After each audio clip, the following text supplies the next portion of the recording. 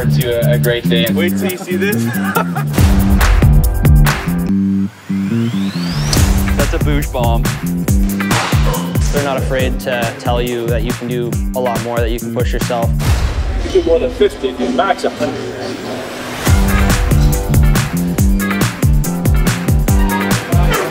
Wednesdays we usually go play pickleball.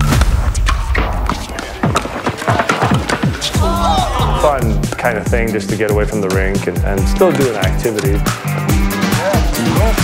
Jeff Jackson is now the CEO of hockey operations for the Edmonton Oilers. Big opportunity for me this year.